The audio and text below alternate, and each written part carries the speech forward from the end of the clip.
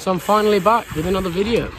This video is going to be all about King's Cup Gravel, also known as the British Gravel Championships, which is tomorrow. It's uh, end of September now, so this is my last race of the year. And actually, it's going to be my first ever, first ever gravel race. Now, some of you may know I just did GB Duro about a month ago. Obviously, it's a gravel race, but an ultra race. So I mean, this is my first proper gravel short gravel race, I guess. I don't really know how you describe it. But yeah, so I got ultra form, but I don't have much uh, speedy form. So should be quite interesting to see. I have no expectations. I got this mega bike that I'm borrowing from Matt Page. So thanks, Matt. Um, currently out on my short activation ride. I'm not going to do crazy long, probably only an hour max, just because I want to try and go in as fresh as possible. Still not 100% after GB Duro in terms of speed and fully fresh. Mad how much that takes out of you, but to be traveling down this afternoon down to Norfolk. Get ready to watch me get probably epically spat, but it should be funny either way. Yeah, let's go. So, a bit more about this bike. I'll drop it in now. It's me when I'm not in full kit trying to ride no-handed down a canal path. Let's see it.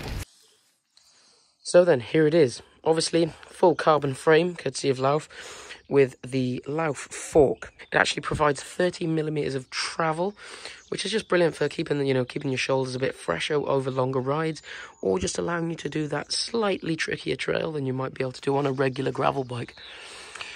Throughout, we've got a Shimano GRX Di2 group set. The only exception to that is the front derailleur.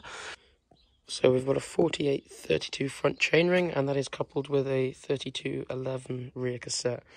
So that will provide us with a one-to-one ratio on climbs, but it's pretty fast course, so I'm pretty happy with that actually because that gives me a much larger gear than if I was to run a one by setup. Finishing it up, we've got a few bottle cages, Garmin head unit, um, S-Works saddle. We've got the WTB carbon wheels, are the CZR, and we've also got these tyres. Now I hadn't heard of them before. Matt popped them on.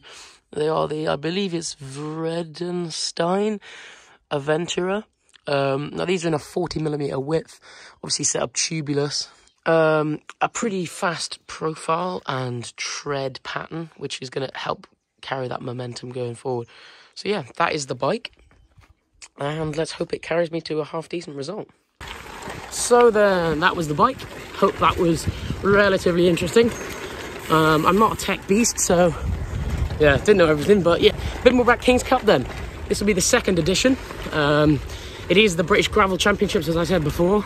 It's 80k, um, and it was rapid last time. I think um, some big names there. It should be really interesting. Oh, so in the car now. I missed a bit off the end there because I was in a bit of a rush to get ready. But yeah, I got home from that little ride, cleaned the bike, loaded it into the car. We're somewhere around, no idea, maybe near Bath, probably not near Bath at all. On the motorway, we've got about three and a bit hours to go. It's nearly five o'clock, so probably going to get there by eight-ish, hopefully. God, it's a bit of a tedious drive. It's all the way in Norfolk, so bit of a bit of a chunky drive. But yeah, I'll catch you at the hotel.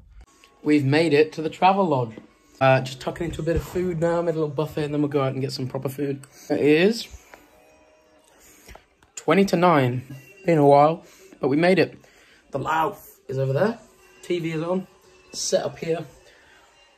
Three beds, which is, I guess, one for each leg. Whoa. So, here we go. Food. What have we got, Mary? Lots of food. We got pizza, a garlic bread, and some ravioli there. Yeah. Lovely stuff. so, just woken up now. I'm just putting her makeup on. I'm just tucking into a bit of breakfast. Uh, had some cornflakes, some pan au chocolat, and some orange juice, which is nice. Um, just sat by the window. So we're gonna head over in about 15 minutes to the start. I got some fresh socks on. Courtesy of Albion. Um, so yeah, should be a good day. Any words?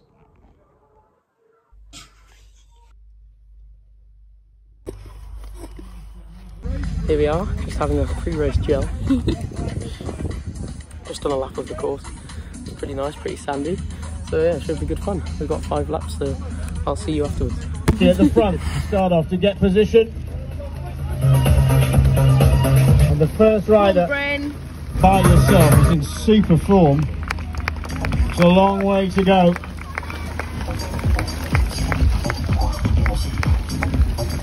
Still little gaps here. Those front riders trying to push onto the back of Mikey. Come on, Bryn. You're having a check. Go on, Bryn.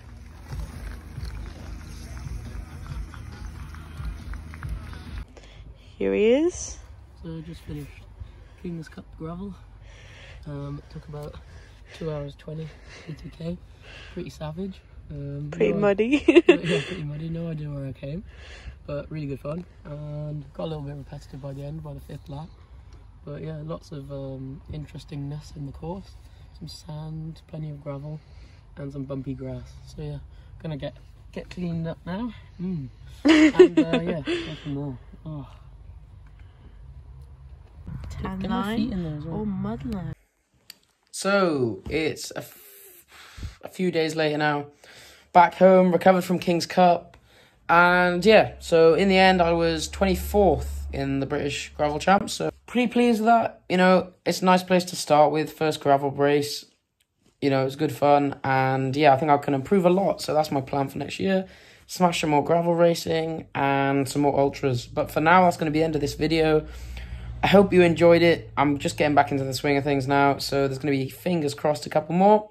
I'll catch you guys in a bit.